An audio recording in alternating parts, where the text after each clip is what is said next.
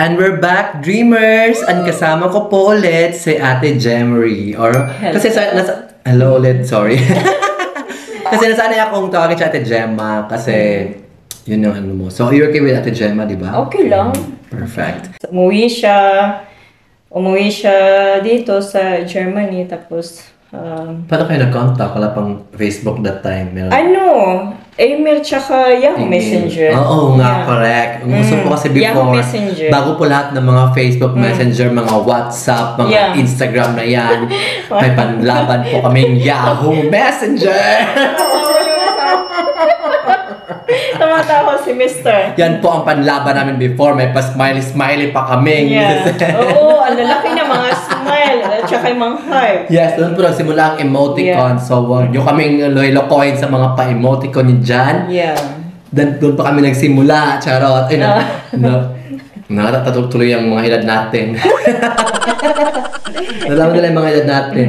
Ayan, so, um, Bata pa. Mm. when did you, ilang, ilang months muna kayo bago mo siya, nag, nag, niligawan ka ba o diniretso na kayo mag-jowa? Or, Uh, wala pa. Ano, uh, nag-ano muna kami, yung, syempre hindi ko pa siya kilala eh. Oo, oo. Dahil lalo na yung nagkwento siya na ano, na um, yung uh, first wife niya, Filipina din, pero mas maganda na, na ano, muna kilalanin no, mo na yung isa't It's isa. very important Ganun. to Mm. check kung Oo. kung alam niyo yung kung you have to see that the both the dark and the Yeah. dark side and the light side of Mm. one person para kasi di ba it's a lifelong commitment Yeah, kapag kaya- ka na so you have to make sure na Tsaka ang bata ko pa noon, Mm. eh, ah, mag-19 pa lang ako. At oo, mag-19 pa lang ako. At ah, sinabi ko sa kanya baka mahirapan tayo mag-work yung relationship natin. Kasi first time ko maka, ano talaga, ng malayo, di ba? LDR Mm, oh my super God layo. No 19 pa lang siya pero pak pasok na din sa banga Diyos ko one ano lang isang isang ano lang love life lang Diyos ko. Mm. Yeah. ako Diyos ko ilang taon na ako wala pa Pero, Charot lang. pero, pero Sige, yan go, din yung, so- yan din yung ano no, yung magandang ma-experience mo pala kapag malayo yung Mm-hmm. yung naging karelasyon mo dahil marami ka ring matututunan din pala Correct, na oo. Ano, Mag-establish mga ka trust, establish ka na Mm-mm. Kasi first time ko magkaroon ng ganyan na super layo tapos taga German tapos iba yung kultura nila yung Mm, sa atin din iba di ba So ilang ilang ilang months mo siya nakilala bago mo siya naging official? ay one month lang Ay! Wala pa talaga, wala ka pang ano pang pero ano. pero nandito na siya Kaya nga, hanggang, hanggang ano na lang. Pero di ba? Hindi. Correct, syempre. ano Wala nang, wala pero nang, hindi pa talaga as in uh, yung love mo ano wala pa talaga ano doon na doon na ako na shock nung umuwi siya nung November at uh, sabi niya na ah, magdala ka ng ganito, ng ah, pang, pang dinner daw, na dress, tapos pang ano, ah, yung mga party, ganyan-ganyan. Meron pala siyang surprise na ginawa na pa sa proposal. So ilang ilang ilang months ano na yun? Ilang months, ede, ilang months pagka naging kayo na one month, after Mm. one month, ilang months mo siya nakita ulit? Ay, ano yun, February, tapos to March, November. April, May, June, July, August, September, October, November din. November, November, nine, nine, nine, months. months. Nine months. Ah, after nine months, nakita Oo. siya ulit. Wow! Mm, yeah. Mhm. Yeah, doon. Pero ano, iba na yung Feeling feelings mo. mo. Kasi may, yeah. kasi may, may halong, may halong um, kaba, may halong excitement, may halong takot din, di ba? Kasi Oo, takot long din. distance, ano pa, relationship pa siya. Tapos, hindi po niya nakikita. Takot kasi, always. ka- takot kasi ano, ah, first time ko magkaroon ng relasyon na ilang buwan na talaga. Mhm. Yung, di ba, syempre, aka, aka, ano, akala Kasi bata mo ka na- pa, so hindi ka oo, pa masyadong experience talaga sa Mm. relationship. Oo. Kasi wala naman talagang experience sa relationship, di ba? Oo, pero ano yung yung ang dami mong mga iniisip na ano anong anong susunod pa Mm, na mangyayari mga correct. ganyan. So, nag-propose siya pag pagbalik niya na November. Oo, pumunta kami sa ano sa Bohol muna 'yon sa Bohol. Ah, nag Tapos uh, kinakabahan siya. Hindi niya alam kung ano yung gagawin niya. Sabi ko, ano ba nangyayari sa kanya? Bakit, ah, ano, pabalik-balik? Tapos ganito. Tapos, eh, sweetheart, ano? Tapos, ah, meron siyang kasama na kaibigan ah, na mag-take ng video at ah, picture. Tapos, ayun na, ano, ah, ah, sabi pupunta daw kami sa dinner, may dinner kami. So, syempre, ako nag-ayos din, ganyan. mm. Correct. Tapos, ah, biglang, ano, pulang-pula na yan siya.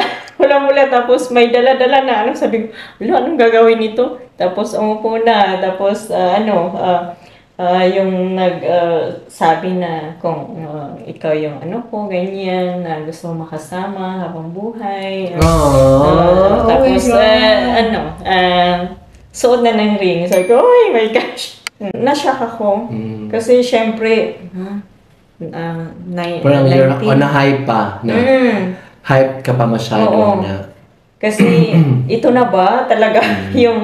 Kasi iba na yan eh. Ibang usapan na kapag um, mag, mag-asawa ka na. Mhm, di ba? Correct, correct. Mm-mm. Of course. ibang level na ba yung pang forever na talaga kasi yun yung yun yung pangarap ko kasi na kapag mag-asawa ko yun lang yung Mm. Uh, stick lang talaga sa isa yung And ilang taon na since then na magkasama kayo? 18 Oh!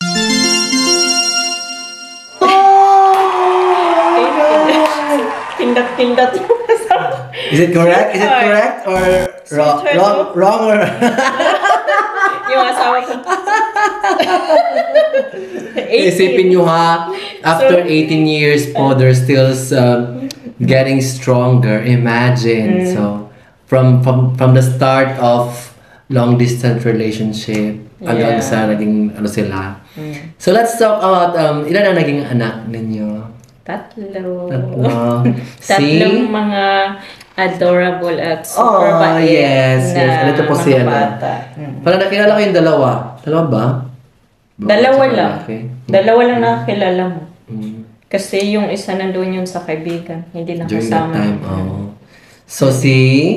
Si Shamira, Sarah, at Alexander. Wow, Tatlo. ayan, ayan. So, Mm. by that time na nagkaanak ka na, na-realize mo na talaga yung gano'ng kahirap maging ina. Super. Ano yung mga challenges Hindi, mo? pero hindi ko naman sinasabi na super mahirap. Yung, nandyan din syempre yung happy. Parang, Oo, siyempre, oo. ah, masaya na mahirap, ganun. Mm. Masaya na mahirap. Mm. Ano yung, sino yung ano, pinakamahirap mong pinanganak? Ano ba sila? Natural born or Oo, lahat, ah, lahat normal, normal sila. Mm. natural born? Ah, normal pala. Sorry, na experience. okay lang. sila sila normal. Wow, lakas mo mag-ere. Ere ba yung lakas So, mag-ere? oh, pero syempre, tinahi. na, nabutas. Kasi mga malalaking ano, kasi, mm. Yung pinakamahirap yung pangalawa. Mm. Kasi, ah, ano, ah, muntik na ako nang mamatay. Oh. Dahil naubusan ako na, ano, ng dugo. Oh my God. So, emergency talaga na kailangan merong mag ah, bigay sa akin na ano na dugo. Mm. na ginagano na yung mukha ko dahil wala na ako ano sabi ko. Sabi ko wala na hindi ko na kaya yung Mm. ano. Tapos siya na ah, yung asawa ko na pinabantay sa baby iniwan kasi ako ako yung inano niya natakot siya. Natakot siya. so, parang sa, sabi pa nung nurse, parang wala siyang pakialam sa baby, but doon siya sa, sa asawa. mm, pero syempre, ah, natural, di ba? Mm, correct, correct. Yan. Ayan, ayan. So, Yan yung pinakamahirap. bago pala yan, saan kayo kinasal? One time lang sa Pinas? Philippines. One time lang kayo kinasal? Oh, pero gu- ano, ah, gusto talaga ni Mr. ah, gusto niya na makasal kami dito sa Mm. Germany. Kaya hinihintay niya na one day, one day na ma-okay yung halimbawa sa simbahan. Kasi dito sa Germany, kapag nakasal ka na isang beses sa Simbahan, church, oo. hindi ka na pwede magpakasal Yes, sa yeah. church. Mm, Mm. Pero sa akin, okay naman kahit saan ka ikasal Mm. walang ano, walang problema sa akin kahit saan kasi ang importante naman yung kayong dalawa. Correct. Oh. Di ba? my God! Yun. So, ano ano yung, pinakamahi, yung pinakamahirap na bagay sa pagiging ina? Ah, ito, pagiging ina mo na. Ang pinakamahirap yung magkasakit yung anak mo. Mm. Kasi ah, yung nagkasakit yung anak ko at ah, yung asawa ko nasa ibang bansa nagtatrabaho. at dito sa Germany, ikaw lang mag-isa, wala kang kasama sa bahay. Tapos yung family mo is ah, malayo sa'yo. So doon ako medyo nag ano, nagka-problema din sa Kasi minsan pag iniisip, iniisip mo na, sana ako na lang nagkasakit, anak, Oo. parang ganun. Pinapangarap ko talaga na ako na lang kaysa makita ko yung anak ko na ano, na marami Wala siyang pa. ah, dito, ah, mga Kasi nakikita ko lang yan sa mga mga teleserye, mga ano eh, Super. telenovela na. Sana ako na lang, lang yung anak ko parang ganun. Pero th- that's a real life experience. Kasi yan ang talaga nangyayari sa buhay. Pag, kapag, Kasi, yeah, kasi start nagkasakit yung anak ko, baby pa lang siya. Mm, Four months. Tapos, ano, tapos, ah, nalaman talaga yung sakit niya noong ah, mga 5 to 6 months na may sakit talaga siya sa, ano natin, sa liver. Yun. mm, Yan yung story ng ano niya. Oh, ng, that's so ah, sad. Is- ano very long story. hindi siya, hindi siya na- treatable. Hindi, ano, na, pero Kailangan siya transplant. Ano. Ah, tapos na, tapos, Tapos na, na. yun. Ah, Yun yung so, ano, ah, ah, long story niya. Yun. So, abangan niyo po. Alam ko pong i-share niya po yung story in a Mm. Longer day. Mm. version one day. Pero yes, bago po tayo magpatuloy, um, don't forget to subscribe si um, Ate Gemma through the The Cupers family. So the Cooper's fa- family vlog, it's a very happy-go-lucky vlog po about family life Yeah. dito sa Germany at sa mga experience din- niya din po bilang isang Filipina here in Germany. So yun po at um, yes, uh, that's uh, that's her vlog. So don't forget to follow her, subscribe to her, and also ring on the notification bell para ma-update po kayo sa mga latest vlogs niya Thank you so as a family. So I'm sure na kanya-kanya po tayo may may may kanya-kanya tayong inspirasyon na pwede natin ipamahagi sa ibang tao for them to learn from us and for for them to learn from our experiences and our mistakes.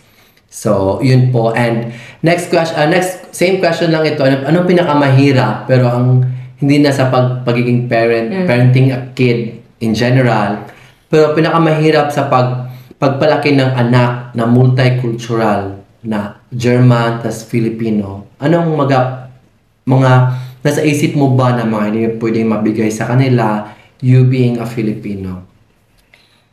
Um, ano, ah, dapat kay dapat wag masyadong strict sa mga anak. Mhm. Kasi ah, kasi minsan kapag ah, super strict tayo sa mga bata, gumagawa sila ng mga bagay na hindi natin alam. Mhm. Dapat ano ka lang, yung balance ka lang as a mom. Kasi pagiging magulang is hindi lang dapat magulang, dapat isa ka rin teacher, kaibigan, yung ah, a cool ah, mama, papa din, ganun. Tsaka dapat meron ding time na na mag ah, um, kids talk kayo yung ano yung sa kayo lang ganun. Correct, correct. Oo. No? kasi um, mahirap, mahirap kasi pag hindi mo pwede ma-instill yung mga kinalakihan mo. Oo, kasi iba mga dito sa ano, Germany, di ba? Iba kasi yung sa Germany and number one pa lang dito is bawal paluin, bawal saktan. Bawal kasi Kahit one, napaka-importante ng one mga tap na wala dito. ganito, ang ganito Yeah. lang talaga. Technically, bawal yan Yeah. dito. Pwede ka mareklamo. And nung nalaman ko pa before, I'm not sure if existing siya ngayon kasi ang alam ko sa, I think it's in the Netherlands or sa Germany ba yun, na may kids phone. May kids phone number na pwedeng tumawag yung mga bata kapag ka sinaktan ng mga parents. Parang ganun. Ganun po ang pagpapalaki. Bawal po yung mga physical um, abuse. Oo, tsaka kailangan talaga yung may time kahit anong busy ka na ano na pagiging magulang, may time ka rin sa mga bata. Mm. Kasi yan nakikita ng mga bata na yung love mo para sa kanila. Yes, yes, exactly. No? And dapat talaga, hindi mo talaga, hindi ka dapat very strict kasi dapat hindi mo sila bigyan ng pagkakataon na hindi maging comfortable mag-share Yeah, oo. ng kanilang ideas, thoughts, and opinions sa'yo. Kasi kung very strict ka, ay, Mailang sila, kong share sa kanya, lang ako sa mga kaibigan ko. Then they would Yeah. start like you know, exploring other parts Yeah. na hindi mo ikakaga, hindi mo ikakasaya. But Oo. may mga may mga times din naman talaga yung mga bata na they have to learn from their own and they have to Yeah. learn from their parents. O kasi ngayon na nagdadalaga na yung mga anak ko, doon Oh, ko na, yeah, oo. doon ko nakikita yung pagiging, ah, minsan, ah, ah, ah, hindi ko na lang sasabihin, ah, okay mama, ano, tapos doon sila mag-unti-unti na, ano, na mag-open sa'yo. Kasi pag mga, ah, maliliit pa, laro-laro lang yan sila eh, walang, ano, pero pag medyo nagdadalaga na, yung, ah, mga crush-crush na, mga ganyan, so, ah, yun dapat uh, may time din uh, kayo na kahit mag-walking lang sa labas kayo Correct. na mag. Quality time. Yeah, mm, Correct. ganyan. Yan, yan yung um, love language mo. Yeah. Oo. Kasi nasabi nila, di ba, may five love languages. Hindi ko pa memorize lahat. Parang giving, quality time, Mm. tapos showing of affection, Mm. being appreciated, parang ganun. Lima siya. So, dapat malaman mo ano yung love language receiving mo. So, paano mo na-feel na love ka at paano ka nagbibigay ng love. Yeah. So, we have our own ways. Pero may mga five general. Hindi naman siya very specific, very like strictly yun lang. So, Sa yun nga siya. So, dapat malaman mo yun. Sa amin kasi uh, mag-asawa, ako yung medyo strict. Uh, yung maano mag-discipline kasi si Mr. very cool. ano lang siya, uh, bigay-bigay, uh, okay lang, ganito, ganyan. Halimbawa, Papa, gusto ko ng ganito. Tapos sinabi ko na hindi pwede, ano, sa susunod na lang, ganyan. Tapos, uh, ano na, mag, uh, lambing-lambing na sa papa. Tapos, uh, syempre, ako, parang ako yung magiging uh, masama. Dapat, uh, kaya pinag-uusapan din namin yan, dalawang Correct, mag-asawa. So, si Ate Jemary po is kaibigan po ng ate ko. So, when I came here, nakilala ko po siya. And, um, so marami ka naging kaibigan dito when you came, when you come to Marami. Ang, ang, German. nung dumating ako dito, ang pinakaunang nakilala ko, alam mo kung sino? Sino? Yung ex-wife ni Tia. na, nandito na siya. Oo. Pilipina din. Pilipina. Ah. Yeah. Pero ano, uh, close kami. Close Mm, kami. hi, Day. Shout Hello out po sa iyo, da, Ma'am Day. Mm, oo, mabait. That's, that's good, that's si, good. Si Inday, ah, si Esterlita, tsaka yung sister-in-law ko. Mhm. Kasi, syempre, um, ah, friends still sila, mag-best friends. Tsaka, um, respect din ako dahil, syempre, wala ako nung sila pa, di ba? Mm, correct. Dahil, um, Who are you to judge? Yeah. Parang ganun. Mm-mm. So, Oo. anyway, um, hindi yan, hindi yan basta-basta ha. naman ako ganun. You're very, very, you're very, ano, you're very blessed kasi at least, um, you're given the wisdom and the understanding na Mm. naging friends kayo ng mga Mm-hmm. People from the from the previous relationships. Parang ganun. Yeah, So, kasi kailangan hindi din. yan madaling gawin. Oo. Kaya mong tanggapin, di ba? You as, Oo. you as a bago. Kasi, kung ako, kung ako, to be honest lang ha, kung ako, may, mag, may, may nakatanim na pagsiselos at times. Hindi naman galit, siguro Ah, ah, pagsiselos lang. May insecure mara- ako bilang, bilang isang tao. Maraming, maraming ng ano, ah, kasi may, na, um, may video kami, biglaan lang yun na video Mm. na, na gusto kong ipakilala yung ex-wife ni Teo kasi sa akin okay lang, tsaka sa kanya din. So, ang daming nag-comment, syempre na, ano na, ah, ang ganda naman na, ano, na close kayo, ganyan. ah, kasi kung sa kanila daw, magsiselos daw siguro sila, Mm, ganyan. correct, correct. That's Pero true. syempre, sa, sa amin, dalawa, sa akin, lalo na sa akin, is uh, sila dati magkarelasyon. Wala naman ako. At syempre, ang bata-bata ko pa noon, di ba? Nung sila. So, hindi ako kasali sa ano nila, sa naging anumang problema nilang dalawa. Tsaka, wala na naman din sila nung nagkakilala kami ni Mr. Correct, correct. That's Yeah. that's good. So, masaya yun siya ha. So, um, so marami ka na naging kaibigan dito. Yeah. Nakaranas ba ang isang uh, Gemary na na tinraidor ng mga kaibigan? Ah, wala. ng isang kaibigan? Mm, Wala. O- o- hindi pa ako na. Hindi ka pa, na, hindi ka pa nakaranas? Wala. So, anong, magiging, anong advice mo sa when it comes to friendship? Siguro ang pinaka-importante na ano na pag meron kang kaibigan is ah, respeto. Mhm. Respeto tsaka tiwala. Mhm. At ano, understanding kasi syempre dito na mga kaibigan mo, meron kayong kanya-kanyang buhay at minsan bihira lang kayo nagkakausap, ganun. Dapat ano, dapat naintindihan mo siya at at siya din nakakaintindi kung ano yung sitwasyon mo, ganyan. Correct, correct. Tsaka tiwala talaga at ano, respeto. Kasi kung walang respeto, parang isi-isi lang na ganun-ganunin ka lang, di ba? Na ano, isang kaibigan. That's, that's true. Mahirap talaga kasi, di ba, may mga iba pa nga na friendship comes in different forms kasi. So, Yeah. um, it's, it's all about paying respect and giving res- respect sa kung ano man sila at kung ano man ang kaya nilang ibigay sa'yo bilang kaibigan. Kasi you cannot demand anything from a friend. Yeah, Di kasi, kasi ako, kapag magkaibigan kasi ako, ano, ah, parang ganun din, bigay, lahat. Parang ah, iniisip ko na na kapatid kita, ganun yung family. Kasi nandito ako sa Germany, wala akong family. Ano pinaka pinaka kinatatakutan mo mangyari sa buhay mo? Ano, ah, yung, yung masira syempre, yung family. Mhm. Kasi, ah, di ba pag ah, may family ka, dapat, ano, dapat ah, buo. Buo kayo palagi. Dahil wala namang perfect family, di ba? Wala talagang perfect. At ah, kahit anong nangyayari sa inyo, mag-asawa, may mga bagay na mga nangyayari, pero kayong dalawa lang nakakaalam kung ano correct. yung sitwasyon ninyo Correct, dalawa. correct. At kung ano yung nasa loob lang ng bahay. Ganun. An- ano yung pinaka um, gusto mong um, i-share bilang um, bilang isang Filipina na nasa may partner na foreigner? Sa mga ano?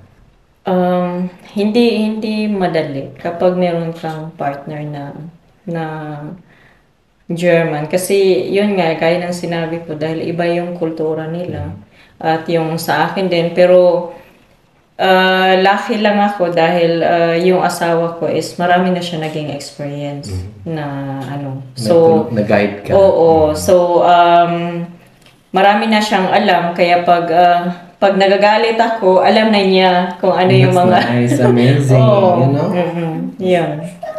Yun siya. So, um, ito na lang kasi we're running out of time. So, um, our next um, question is, um, ano yung pinaka pinagsisihan mo sa buhay? Wala. Wala akong pinagsisiyan. Wala? Wala? Wala. Kasi, ano eh, kasi, ah, kung meron man ako mga pinagsisihan is, ah, part naman yun ng ating buhay. Kumbaga, Mm, wow, yes. Kumbaga, yun yung ating mga naging ah, experience ba na kung bakit, kung nasaan tayo ngayon. Mm, Thank you very much Yeah. for that. Ito, last na lang siya. Ano mga um, mensahe mo sa lahat ng mga subscribers natin at future subscribers natin bilang um, isang taong nangarap? Ano lang, ah, patuloy lang po kayong mangarap. Kasi syempre, ah, hindi natin alam kung anong mangyayari sa ating buhay. Dapat, ah, kung anong meron ngayong araw na to, gawin na natin. Huwag na natin ipabukas pa. Wow, Oh, diba? thank Kasi- you very much. Oh my God, ang Life is saya. too short. Grabe, ang bite, ang sweet naman ng ano, mga words ko pa. May, may ano ba, may, wala bang patak ng galit or sa puso mo? Kasi parang ang lahat talaga, ang ganda ng ano mo. Hindi, yung, kasi may mga negative emotions tayo. We are all human. So, parang kasing lahat ng ano my God, but she's a very nice person. Parang walang halong ano ba, hindi na, wala kang ano, pinagsisihan. The way you take life is parang ha- very happy-go-lucky kasi Wala kasi, ano, kasi syempre, ah, lucky din naman ako na nandito ako sa Germany at, ah, ano, at mabait din si Mr. Mr. Kippers.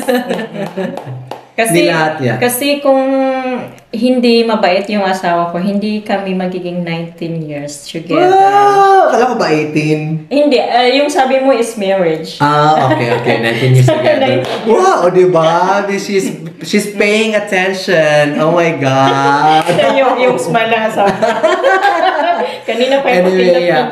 Pasensya na po at um, at least um, may na, nakuha po tayong inspirasyon sa naging uh, buhay po. Uh, quick glance, glimpse lang po sa sa buhay ni Ate Jem. And sa lahat po ulit ng mga nan- nanood at nag-enjoy at nakilala pa siya ng mabuti, pwede niyo po pong subaybayan ang kanyang buhay bilang isang ina, bilang isang asawa, at bilang isang babae. So, huwag niyo pong kalimutan, don't forget to subscribe and ring on the notification bell po para sa The Cupers family. Click here po.